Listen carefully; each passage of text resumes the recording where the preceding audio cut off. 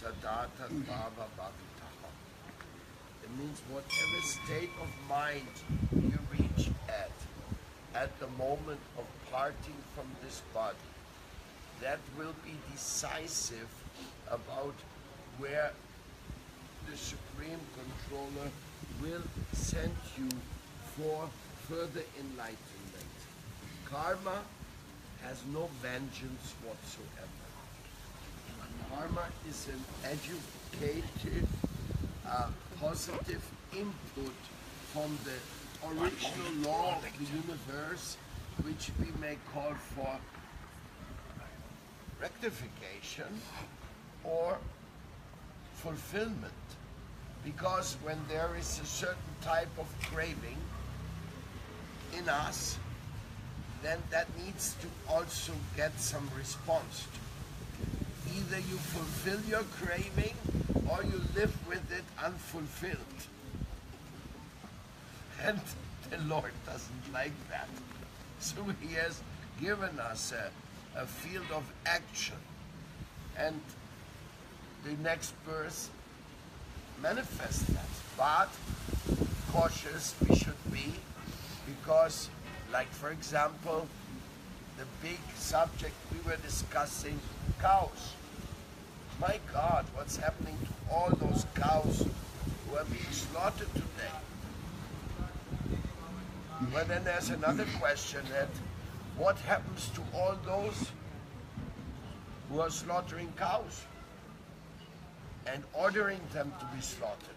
So we are talking about millions of living beings being born and dying, being born and dying. Krishna says, Vidya Vinaya Sampane Brahmaniga Vihashtini Shuni Chaivasva Pakecha Pandita Samadarshinaha. That the sage, he sees with equal vision a cow and a dog, a Brahmin, a dog eater. He sees all of them as being there, the soul. It's the, it's the soul which is on a journey. And that journey is journey back home.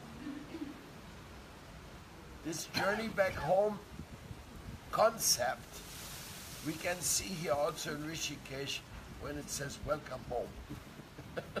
so it's a journey back home which we are really looking for. And it's a beautiful no home, sweet home, or what's in the heart of the home. You know? In the heart of the home is the O. Mhm. So if you want to go to home, you better chant the Om. That's the way. So, uh, Mahavakya. Om is called Mahavakya. Aum. It is, it is uh, the uh, Akara, it is Lord Krishna. It is U, the, the uh, divine feminine sound. And the Yem, the the children, Jeev Shakti. So Krishna Shakti, Radha Shakti, and Jiva Shakti all together become Om. So the invocation is there that uh, through the guidance of our heart, we can aspire for something very elevated. And by hearing about this possibility, we may make that choice. Just like you came here to Rishikesh because you heard about this and you became curious. Let me come, let me see this. And here you are.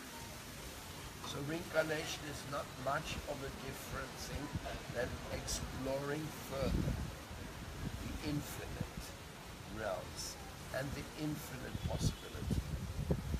Good side of it, free will is put onto your into your heart, into your ability. But there is something more which we heard from our spiritual master, and I think that's peculiar, very important. He said he called the Lord the loving search for his lost servant. When Krishna comes here, when Mahaprabhu comes here, when Hanuman comes here, they always have something to say. Come home. Stop me, folks. We are waiting. We want you home. I mean, if the home doesn't give you the feeling that you're wanted home, and it's not so nice like we want to go someplace. No, we don't want you here. If you don't want me there, why should I go there?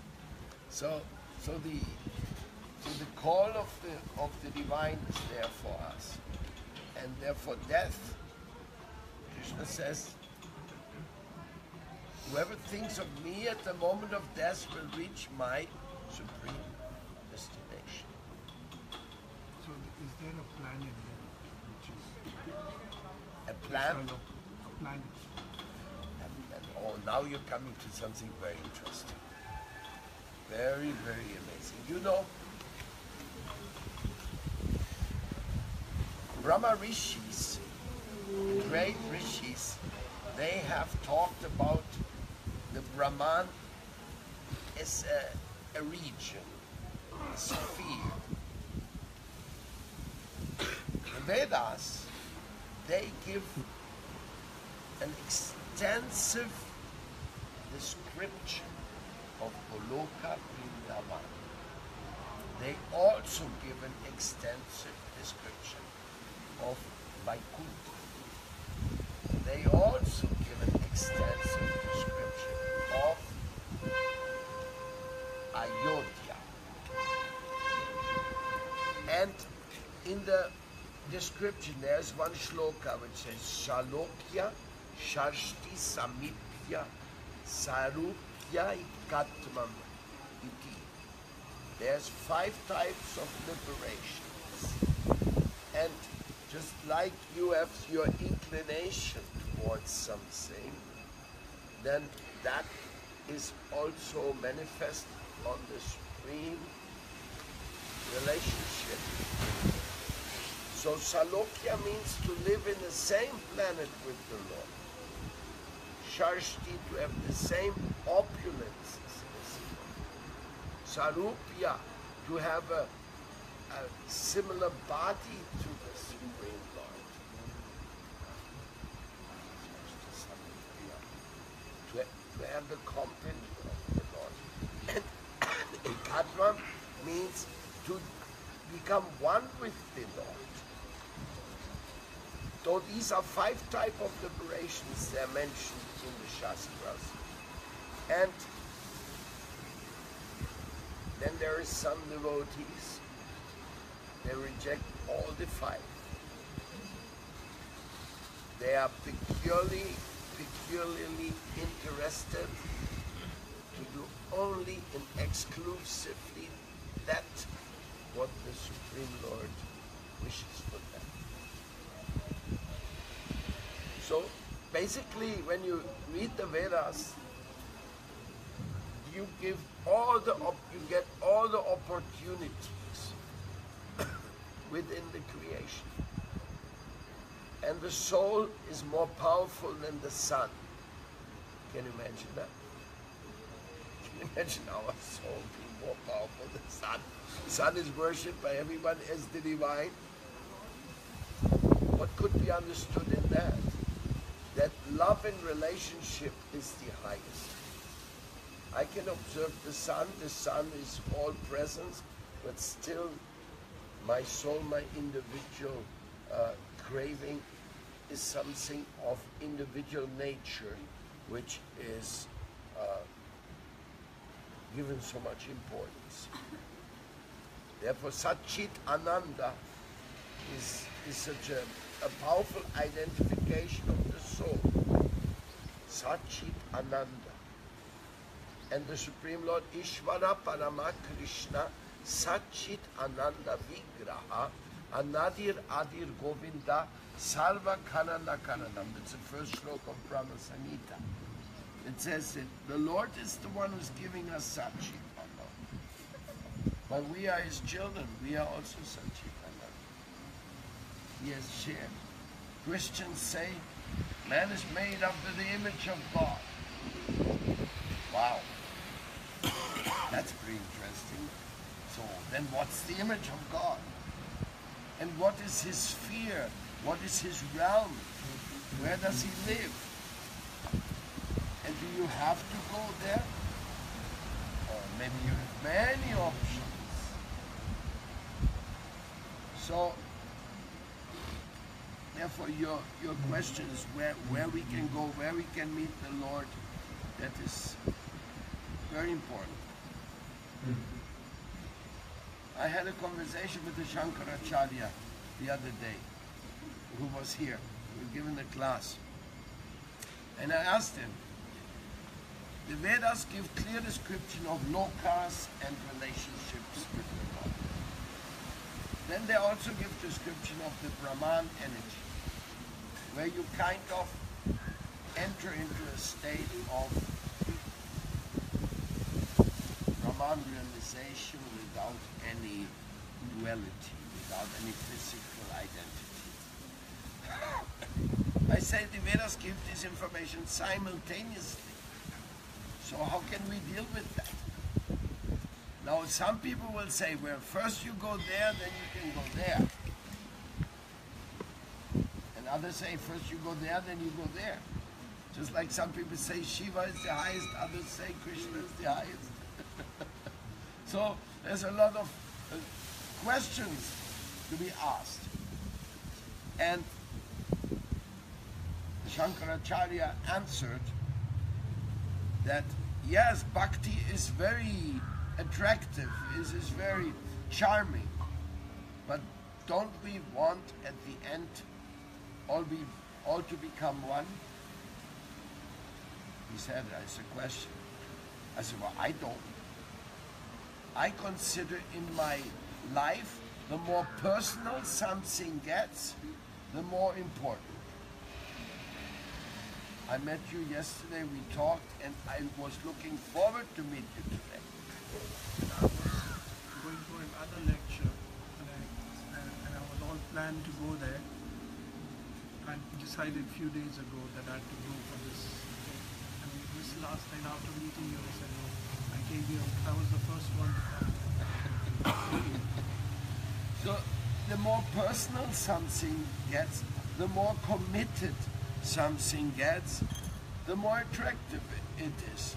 So the for me personally, if you say, give up my individuality, give up the notion of a relationship in eternity, that is not charming. Not charming. I think individuality, despite its difficulties it entails in our existence in this world, I think individuality is the, the greatest gift of the.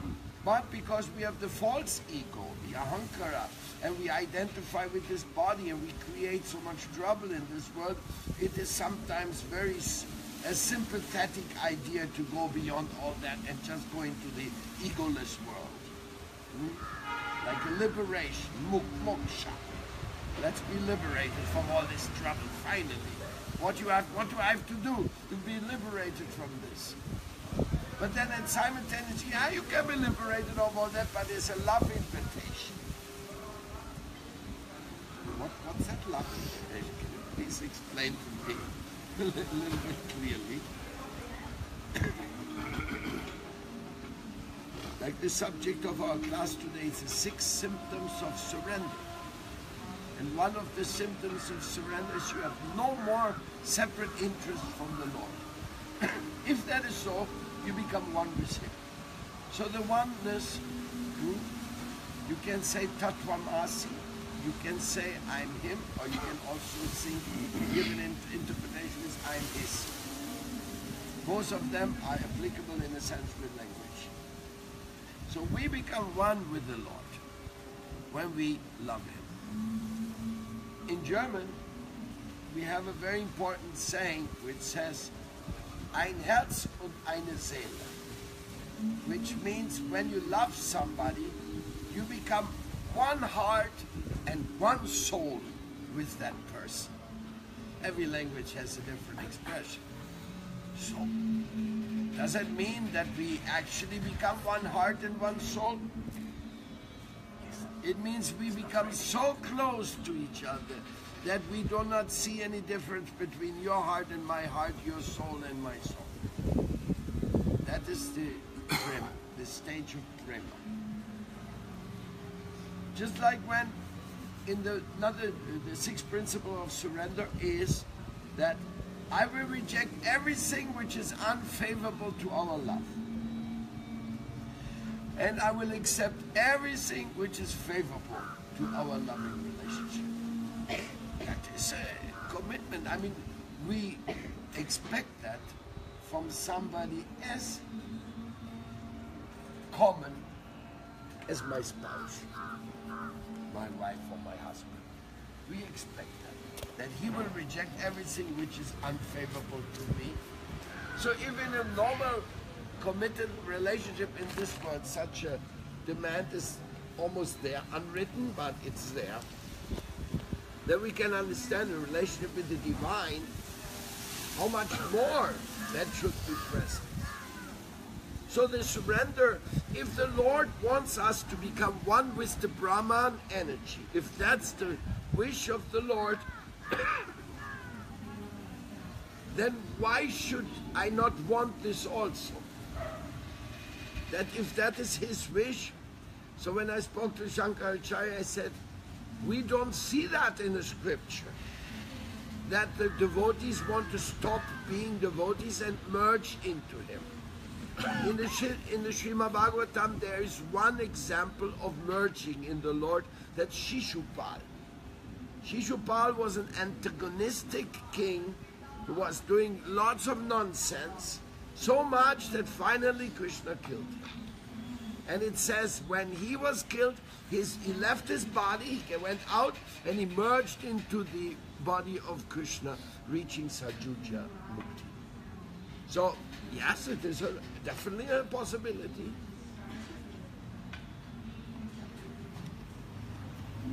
So, what's happening in the moment of death? That is the that is the result of how we prepare for that. Every moment is everything. And the moment of death is not that we stop to exist at all. It's just the, the possibility, the unlimited possibility of the transition to the divine spheres of whatever you wish to and whatever the Lord grants us by His grace. I had one conversation with a priest. He invited me to preach in his church in Italy. That means he was an open-minded priest. And he was actually a student. He had also studied Yogananda, Swami Yogananda, the, the author of the uh, autobiography of a yogi. So he was attracted to this and so he invited me. So then we had a debate about this destiny of the soul. Is it Brahman or is there some individuality retained after moksha? Tough subject. Has been discussed for thousands of years here on the bank of the, of the Ganga. This is the topic of love. But in the Garuda Puran, it says like you go to White, you have to pass through Vaitaran river, you have to go to the umbrella, uh, the Swami, the lights, chant, you have to make those balls, you have to do that 12 day ceremony so that the soul ascends to the certain stage and passes through certain places, reaches You're talking about Pita. That's a totally different subject. We can also talk about Pita. One more. I was talking that when I spoke with this priest, I I said, so you think that God has created all of us? Is God aware of our existence after creation? Like I'm aware of your existence right now. Not so deeply, I don't know what you think. I can go in, can't go inside and but I'm aware of you. So the question is the creator aware of his creation? First question. Second question, when you meditate, is anybody reciprocative towards you? When you pray, Is anybody listening to your prayer? Yes or no? Hmm? I don't know. You don't know. Well, that's it. That, that was the question where we, if somebody, like we're talking about grace, kripa, mercy, prashad, that is always something is given. it is granted. We feel that by the mercy we reach Ganga. So the notion, the individual notion of the divine, that is the charming aspect in the bhakti. It is so incredible that it is compared in the Vedas, the pleasure of Brahman realization is compared to the water contained in the footprint of a calf towards the ocean of nectar of love in bhakti.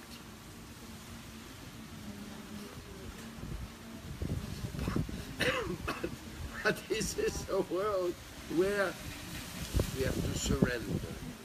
We have to surrender. When I look at Hanuman, I have to think about one story. That Hanuman was told, you make that, that bridge to Lanka. Hmm? So Hanuman, he got all his friends going and they went all, and they're bringing these boulders and writing Ram on it so that they, they will help and stay afloat to take Lord Ram to Lanka. And as he was bringing huge boulder, there was a little spider. And that spider, he was carrying a few pieces of dust to also put there. and Hanuman kept, hey, can you please get out of the way, you know? I'm coming with these boulders and here you're just... And the spider said, oh Hanuman, sorry, sorry, sorry. He went off the road and he started.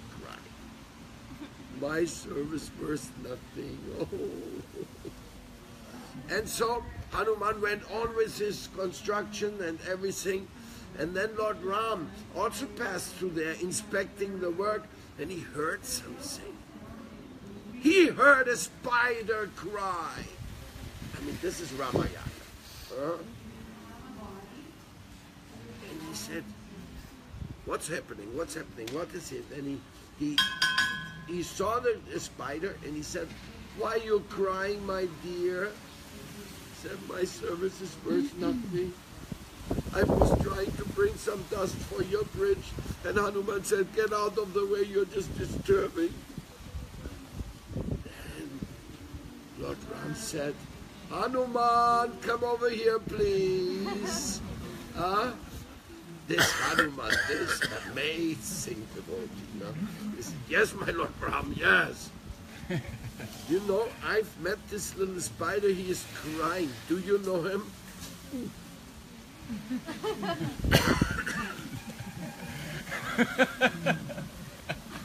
Did you say something to him? Oh, my Lord, I'm sorry, I'm sorry. I'm sorry I made this spider feel unhappy by my comment.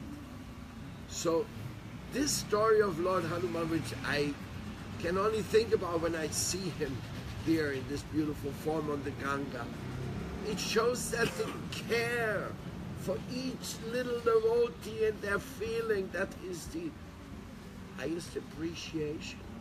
We don't brush over anybody.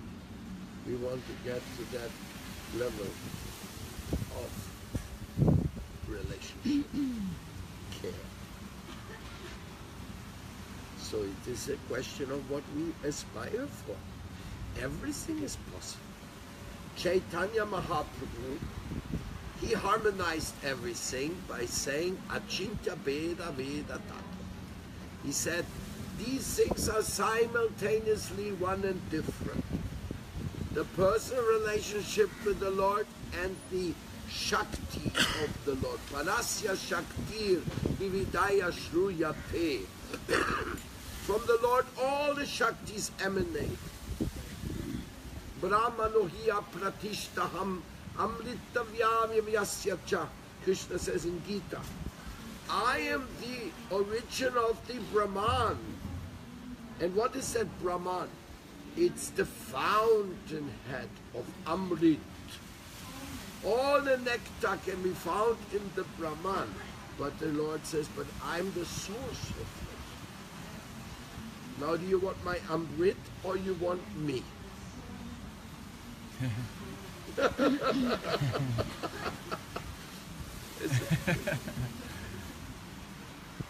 Radhe Radhe, thank you for coming. Find my wife now. Okay. It's the only reason I'm leaving. but it's devotion.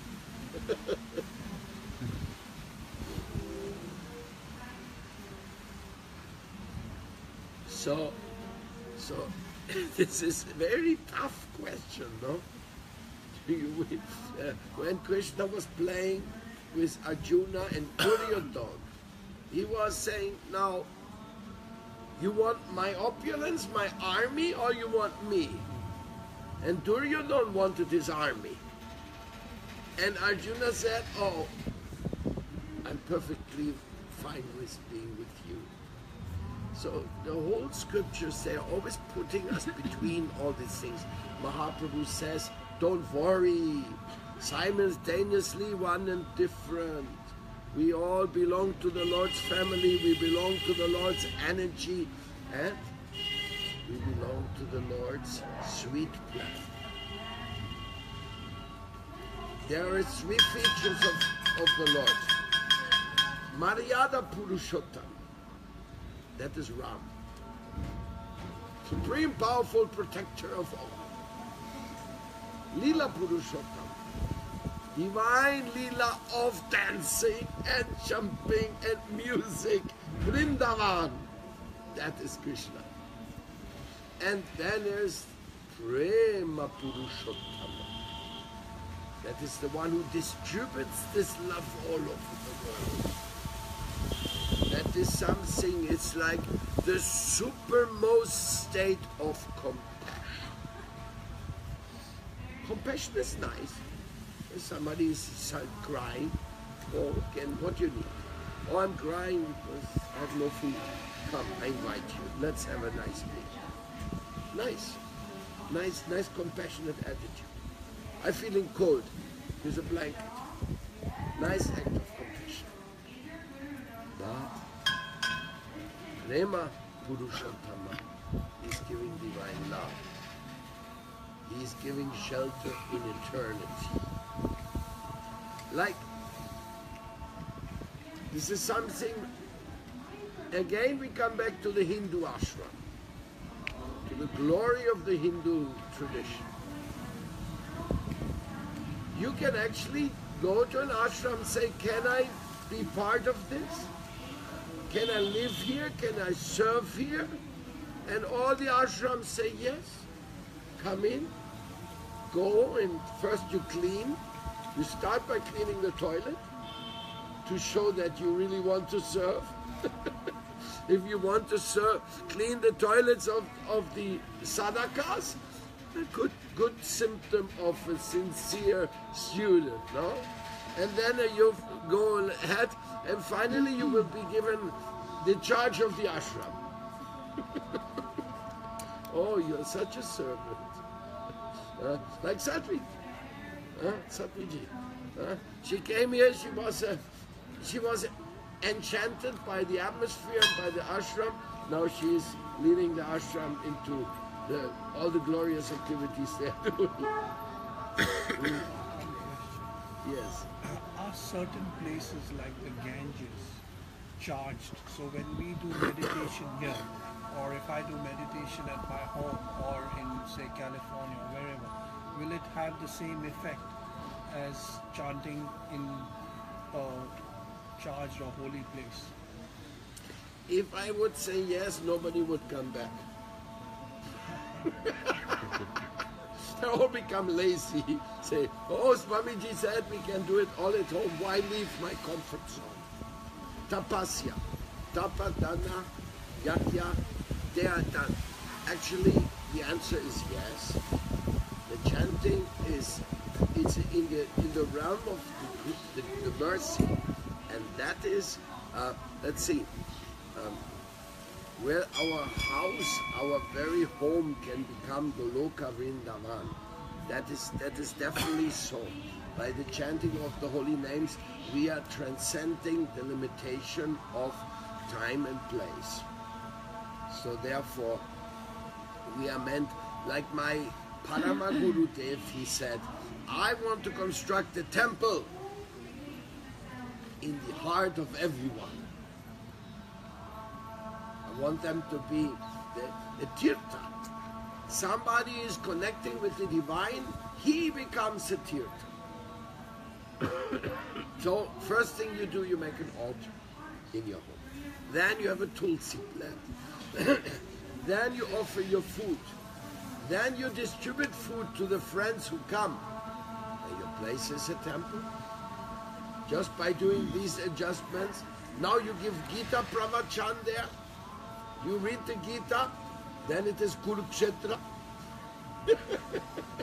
so you have definitely many tools of uplifting, upgrading your consciousness, your home, your city, everywhere. Hmm? That is the divine power. So Krishna is. He's the origin of everything, he maintains everything, and he is the final destruction of everything. Make some space for her. Sits in there. It's very comforting. But like dipping in the Ganges makes a difference. Absolutely. Absolutely. The Ganges is magical. And the Yamuna also. And that's why I joined Ganga Action Parivar. And with Ganga Action Parivar and Yamuna Action Parivar, I have a, a notion, I have a feeling in my heart that we, you, me, the people in the government, the people in the street, we cannot rest before this river is so crystal clear again. It's not carrying poisons from here all the way to Ganga Sagar, poisoning children and animals alike. I have a I have a strong feeling of karma yoga that this has to be done, that has to be tackled, and I'm going. I just went uh, the other day. I went to Akhilesh Yadav in Lucknow, and I told him we have to clean those rivers. You are now the king. There's no king at this time. No, you are the king of this this country. You must make sure this has happened. The other low, small people that can participate, but you have to. To, you are as the ruler, and of course, Lucknow and the tanneries right on the bank of the Ganges. They have tanneries. They're poisoning the water with all these chemicals. So it's a very severe. It's just happening in UP, no? So, in this way, um, we are we are on the task. This is one of the tasks we are working for. You know, the Europeans, they look after their streets, they look after their environment. Here, we are looking after ourselves, but nobody is watching the street. We can't even walk there. There's so much of chaos. Wait, Wh- wait, why, wait, why wait, this, wait. Which is better, Sit- sitting in California or in the England, where everything is clean, clear cut. They look, they're actually also doing seva. They're looking after their place and they're making it clean. Here we are praying, meditating, and all that, but our streets, are, Yes. everything is so Yes. chaotic. Yes, this is a very interesting question, but in a way, I feel a little shy to answer it. But I will give you another point. Europeans are first of all the big sales people of all the chemicals contaminating the whole world. All these chemical companies, they are there. And many of the poisons which are prohibited there, they are selling in the third world by bribing people to buy them because they have these huge stockpiles or whatever and they're producing this big business, DDT, things like that. It's prohibited in Europe, but Europeans are selling it everywhere. Number two, rivers in Germany, to say one thing, were totally polluted. All the fish was dying. It was only then, when they saw all the fish dead there, they started to make some severe rules. Because actually the fish was dying from the chemicals from the Swiss companies where the Rhine was going through the Switzerland and it was a disaster. Now it's there's fish again living in the Rhine. They got it under control. And India will get it under control. You and me, we will look after that. Right? Uh, we will not simply, that can be gotten under control, and it has to be gotten under control. And we have so many things. We are following the the European American standard to a certain degree because of the fleshiness of the modernity. But do dams like the Tehri Dam, do they do good to India? What do you think? We have a little bit more electricity, a little bit more hot water, a few more lights going on, but does it do good to Ganga? Does it do good to India? Does it do good to Mother Earth? Finally, clear answer is no. So, to whom does it do good to make a billion dollar dam? You know to whom? To the World Bank. Those who give the money and create the dependencies in an economical neo-colonialistic situation. That is how they do this. They, eh, they, the World Bank business, is the way they do, like they go in a country and they buy the country. And the president, the ministers, they're just peons to get part. And maybe the new minister is just having, receiving the inheritance from the previous minister who signed that horrible contract. And like they, it's really, we are living a tough world of colonialism. Gandhi wanted to get rid of it by going back to simple living and not by creating our own system of, of artificial dependencies. So therefore, nowadays, the paradigm is changing in the world. And surprisingly, those who were considered primitive by the colonialists are becoming now the sages of survival of sustenance, of uh, sustainability. Who are there? The original nations, the Adivasis. They are there, and what do they say? No dam, no chemicals. Don't slaughter the animals unless there's an absolute emergency, that there's something for survival or whatever, but do not have factory farms. You know, we are supposed to be the most enlightened people with the internet, etc. Most informed, at least. Not enlightened. but nowadays we are torturing more animals and in the worst way than any time on this planet ever since it was created. There was nothing in the history of this intensive animal torture which is going on today.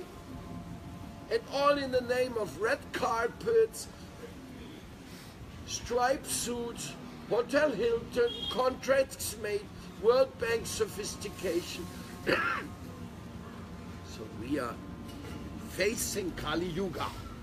100%. Anybody doubts Kali Yuga from the scripture? Just open your eyes. This is Kali Yuga. And what can be done? It is said in Kali Yuga, besides all the negative effects, there's one great advantage in Kali Yuga. Kali Kalera Nama Krishna Yuga Dharma Nama Sankirtan Kaledo Shandidera Jan Asti Mahandinaha Kirtanat Eva Krishnasya Mukta Sangha Brahmachat. That in this Kali Yuga is one advantage that by chanting the names of Krishna you can be forgiven. Amnesty. Oh! and after amnesty comes karma yoga, my dear. It's not that you get amnesty and then you don't do anything. That doesn't make sense. The Vedas always make sense. So you chant Hare Krishna, you chant the name of the Lord, no hard and fast rules. You can chant it in another religion too if you want to. God has many names, but now we have to clean up our act. And we hope we can accomplish something. We hope we can bring the Ganga. Now here we see the Ganga pretty clean still because it's just coming from the Himalayas, but already went through Tehri Dam. It already went through some severe difficulties. And Muniji just told me the other day, I was crying. It looks like the 200 dams which were planned are right now stopped the plan. And that's part of Parmarth work. Because he's he gets all the ministers here, all the people come here. The chief of study says, "Hey, hey, hey." they were going to make. You see this big bri- bridge there? There, these big pillars there. Looks like for New York, for crossing over the Hudson. That's what they made there. They wanted to bring all the cars into this site, into this yogic site. Muniji said no. Then they're just going to have a rickshaw, for rickshaws to bring old people over. so, so there's something going on. We are we are here for for the good work. It will be done. In in the Yamuna was same situation like this, or even worse. They made pillars in the Yamuna to make a ring road around Vrindavan. They were going to make right in front of Keshigat the connection between the Taj and between the the the, uh, the, the Delhi Agra road. You mean that it was going to be a main traffic thing and right in the front of the Yamuna. So we had the local work, we stopped this, we somehow that we somehow that we got so much negative vibes that they had to stop the construction. Then it took us seven years of protests for them to remove those pillars. In the meantime, those pillars were destroying the river because they made silt built up and the river was going away from, from the disasters. That is the work of thoughtless politicians with very bad guidance from the bank, World Bank, from the money givers. So our rivers, our beautiful rivers. When I first came to India, 1975, I was jumping from the Keshigat into the Yamuna. The, the water was clean and clear, and big turtles were swimming there. It was so beautiful. I was still drinking the water. Now we can, but we can bring it back. By the grace of the Lord, we can bring it back. If the Europeans can do it, I mean, if you compare India with Europe, you have been to Europe, right? Europeans are crafty. They're good. They're good for some techniques and so, but they can't do what India's doing.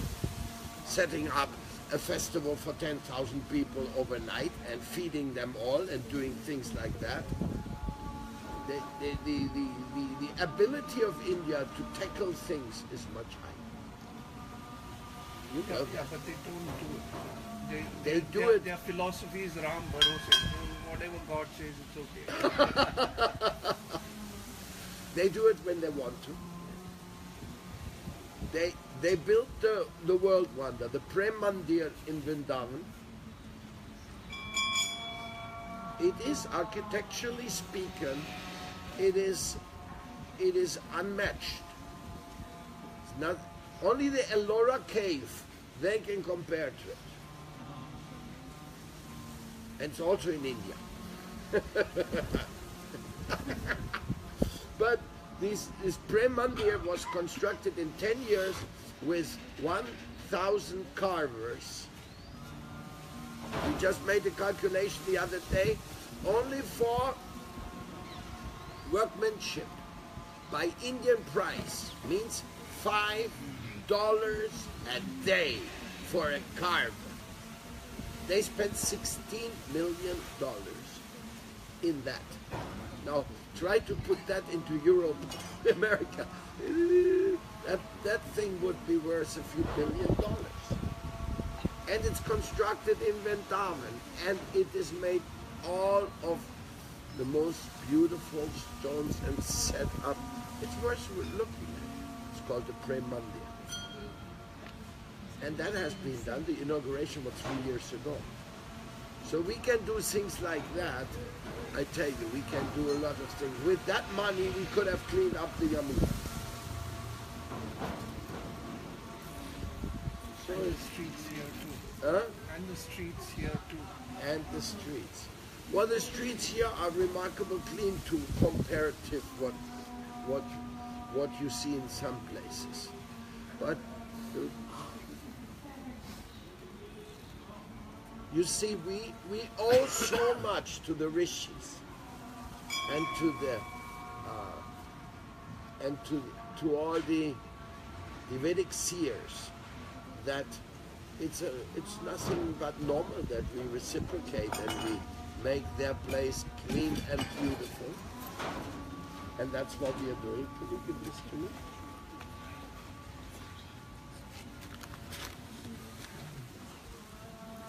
You know, because we are here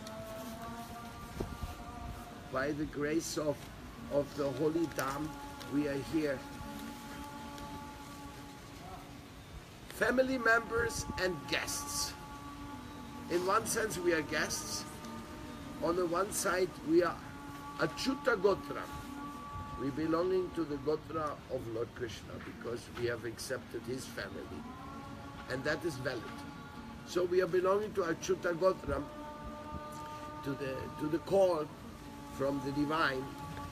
And we are, uh, in a way, just awakening indirectly because the, the, the foreigners have done so much harm in the past.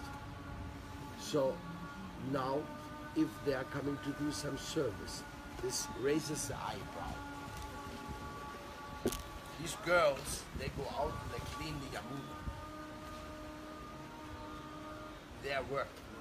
And it has had such a big impact that people say, why they do that? Do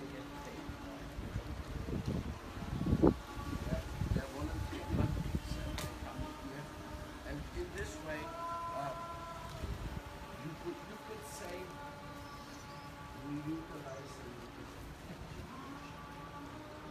educating the mind. I will give you some more information here.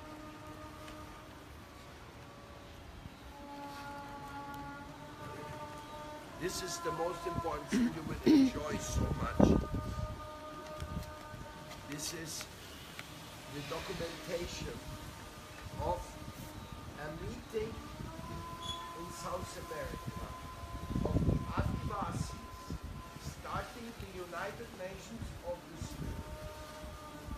In that meeting, they said, we try to solve things with technology, with economics, with logistics, but we forgot the spirit. Never work.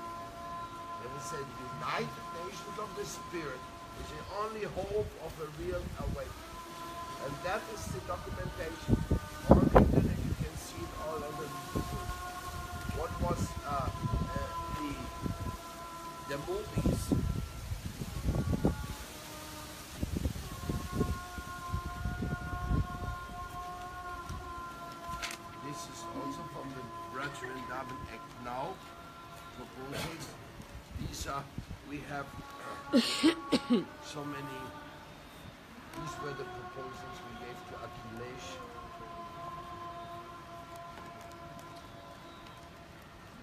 also worked, do you read Hindi? Uh, not really. Oh, here I have in English. We also worked for the last three Kumbh Melas that to make the Kumbh Mela green. Because if the Kumbh Mela is not green, now we expect India to go green.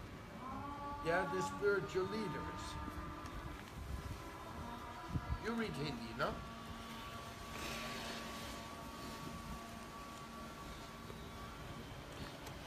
Can bring our Kumbh Mela commitment. You can sign that agreement and hang it in your office. Then everybody will, uh oh, what's happening?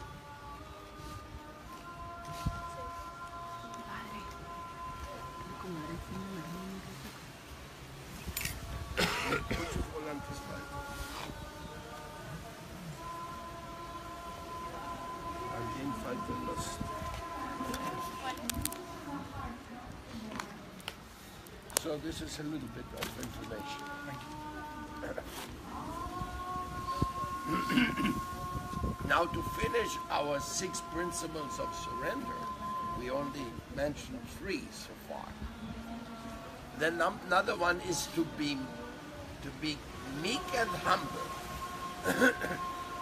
but you may do anything, even you may be a great scholar and you may be a great uh, doer in the world, but before the Lord we should always remain meek and humble.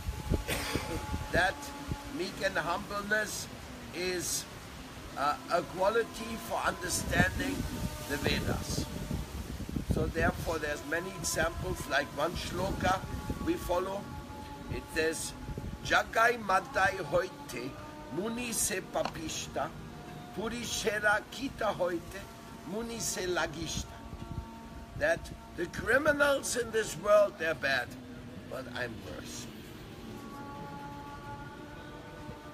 And the worm in the stool has a very unfortunate karmic condition, but I feel that I'm even lower than him. Chaitanya Mahaprabhu teaches us that in the state of humility we can continue our yoga process. Whereas when we become puffed up, proud, pride comes before the fall. Down he goes. You know the, the story of Purnamushiko Baba? One time there was a very powerful yogi. He could kind of fulfill the desires of everyone. So one mouse went to him, said, Dear yogi, I am so much bothered by the cat. I'm so full of anxiety. I can never rest anywhere peacefully. Is possible you make me cat also? Said, Everything is possible. You'll be a cat. Mouse transformed. Short time after, cat came back to the yogi. Yogi, dear Yogi Raj, yes, what's now? Now the dogs are running after me and they want to bite me all the time and I have to jump on the trees. This is the tor- terrible. Could you make me a dog also? Okay. Everything is possible. So you'll be a dog. So, thank you, thank you. Are the most wonderful yogi I've ever met. You're transforming me so nicely. So dog goes away, goes in the jungle, and a tiger appears. And the tiger wants to eat the dog. And the dog just scarcely escapes from the tiger, runs back to the yogi, says, Yogi, even as a dog I'm not safe. Can you make me a tiger also? Now you want to be a tiger? Yes, please. So, Yogi makes him a tiger. Then He's sitting there and look, looking at the yogi, and he is looking and looking. That the yogi says, "Now, what do you want?" I am hungry. You're hungry. What do you want? Want to eat me? Yes. Oh, very interesting. You want to eat? Then the yogi says, Purna Mushika Bhava. Again you'll be a mouse. so when we become proud in the yoga practice, that's not good. That will not work. Humble servant. Even Krishna serves. Krishna serves his devotees. The devotees don't like it, but he manages anyhow. So then next, there's two symptoms of surrender which are a little bit similar. One is to always feel protected, to always know the divine control will look after me. I'm safe. And the other symptom of surrender is that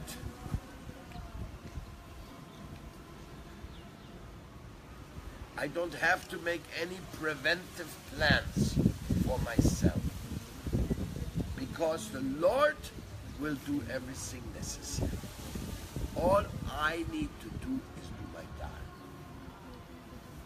If I fulfill my Dharma to my best of conscience, then everything will be done in a way that makes a bright future come along. That brings us back to our previous point of conversation, which is what is our brightest future? Future. And if there's grace, like I was talking with Christian priests, if somebody listening to my prayer. Somebody can give me grace. Somebody can respond to our prayer. Then many things will happen. Many things will positive develop and and uh, even though we pray for others also, the really the science is to learn how to pray. For me in my own spiritual life, it is the moment of prayer which is the most intensive meditation.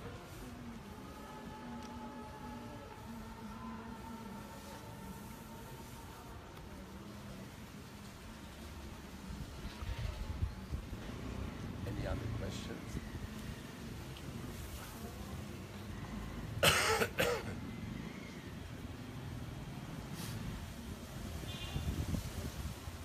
Professor Basham, he is one of the top Indologists in the world, highly respected.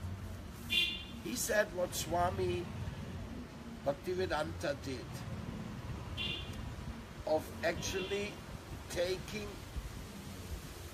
an old spiritual tradition of India, take it around the world and have people joining it and practicing it even to the so many details like sitting on the floor, eating with the hands. And, and, and, and, and all what we know is beautiful Vedic culture, no? He said, there is no comparison to that in the history of religion. That some orthodox spirituality is actually being accepted and applied. For example, or he, he Professor Basham says, the only time such a thing of uh, Orthodox religion spreading other places, that was at the time of Christianity. But that was done at the point of the sword. Pray or die. so, so we don't want to compare that. what Swam, what Bhaktivedanta Swami did when Hinduism went really up road,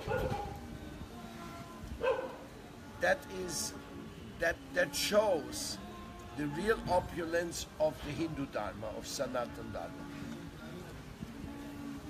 Now the Britishers are coming to clean Vrindavan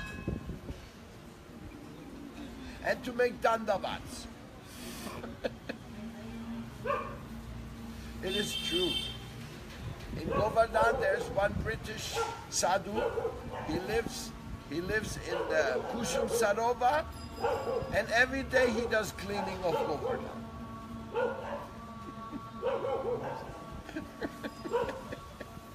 that's the that's the transformation we, we, we need for the world.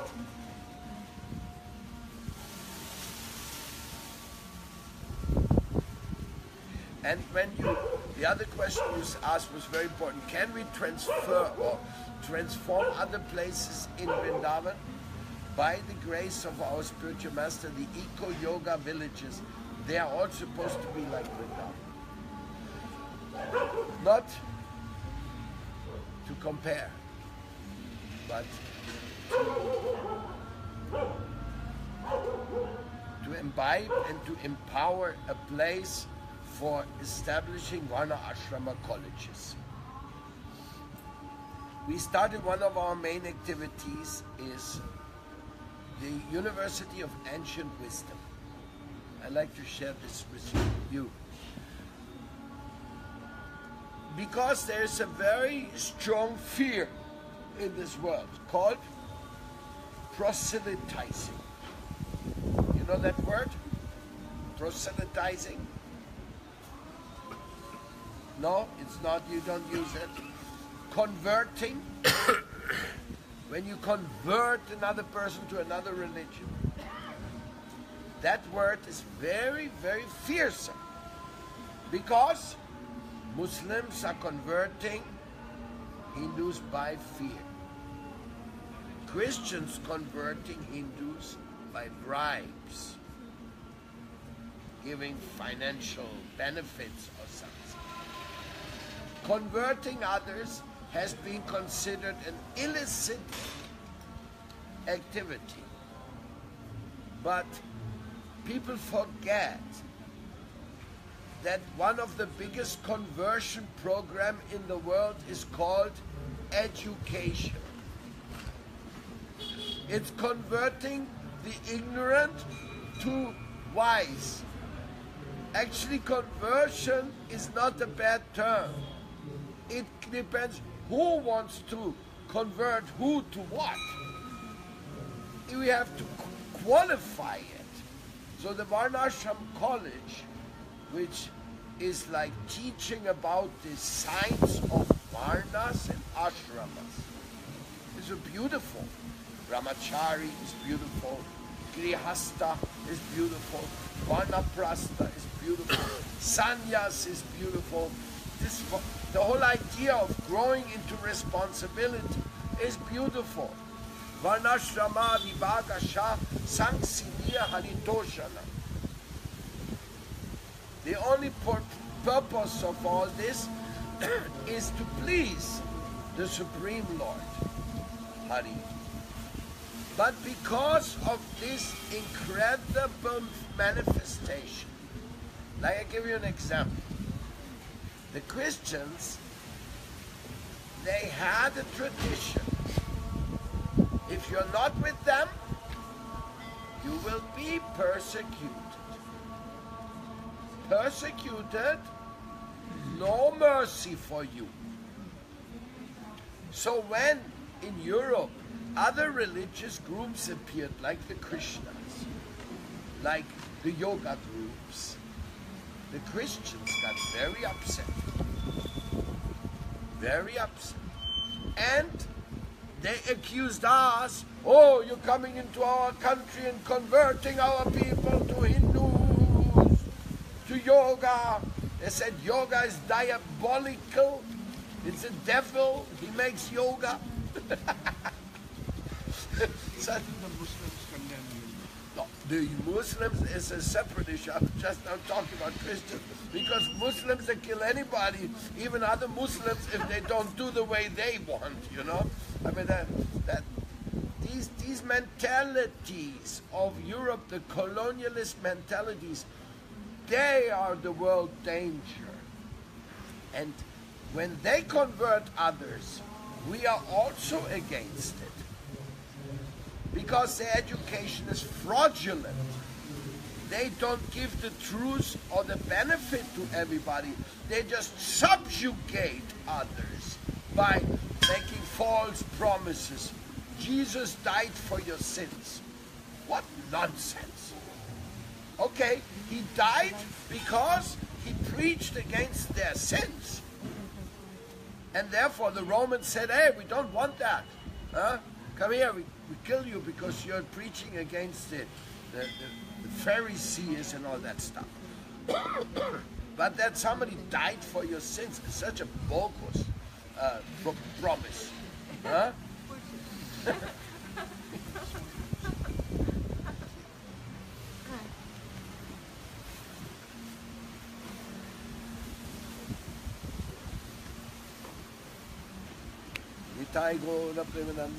Anybody else has a question?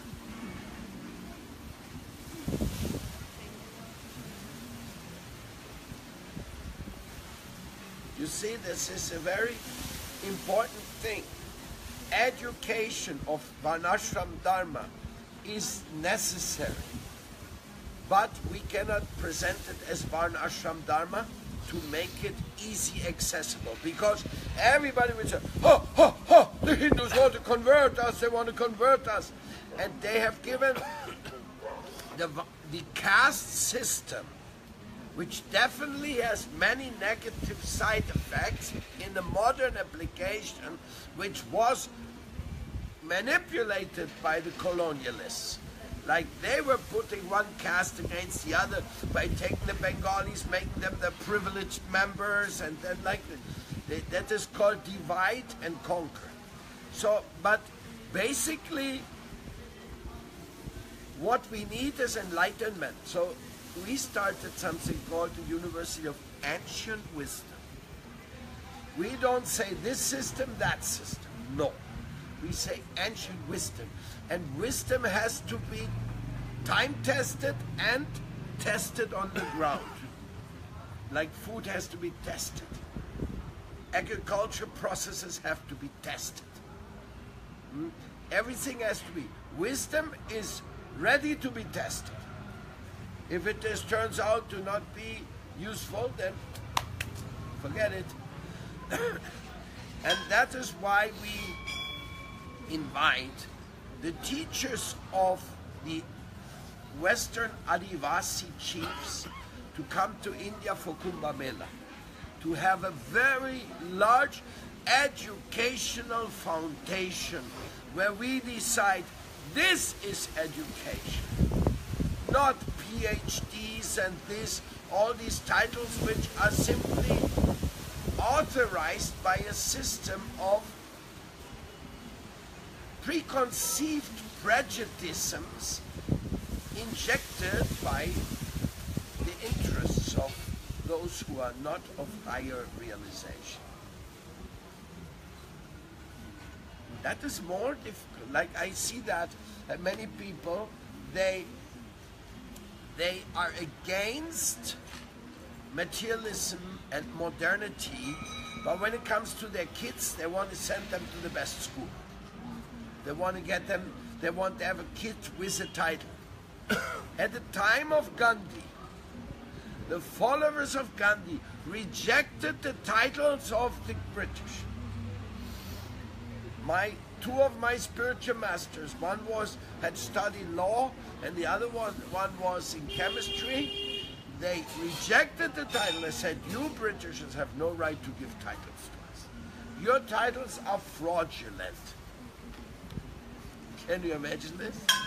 So therefore, I was explaining that, that the University of Ancient Wisdom, it is not taking up the banner of any uh,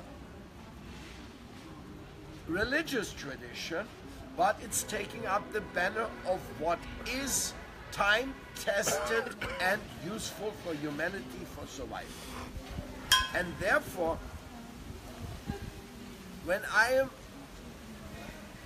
listening to the Adivasi chiefs in America, what they're teaching about nature is the same thing what the Brahmins teach here in India. Bhumi Puja, see the divine in the sun, in the earth, respect the rivers, everything. It, it is so similar, even in the practice. And so by presenting this University of Ancient Wisdom, we have the openness to all, and we will come into the forefront with Varnashrama Dharma because it is the best. The Vedic wisdom is the best. There's no, nothing can compare to it. I mean, the Adivasis, they don't have scriptures. There's nothing written down. It's a totally an oral tradi- tradition, but an oral, for example, to become a priest of a mammoth, they're called mamos, the Indian priest. They have to study for 20 years. One year in a cave, not come out. They're vegetarians, they don't eat salt in that time. They're very austere. It's a long process of teaching. It's not at all superficial. And to preserve their culture. So in this way, uh, they are Brahmins. To, to some of them, I mean, we are talking about 1,000 tribes. Not all of them do the same things.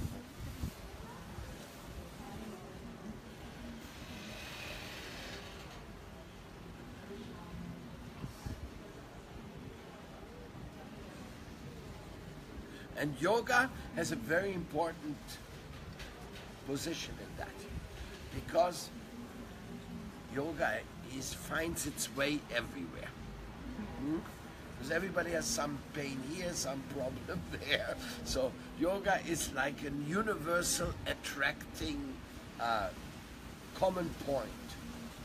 We can see that here, how beautiful it is from China, from Russia, 100 countries practicing yoga.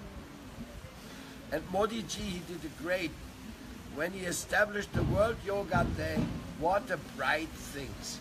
I was in Cuba for World Yoga Day. The Cuban ambassadors, the, the, the, the ministers, they also participated in World Yoga Day.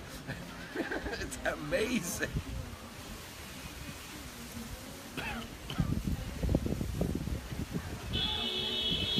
York, there was a Times Square. It was full of yogis.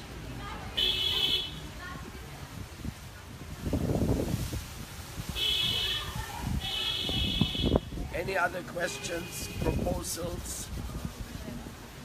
Yes?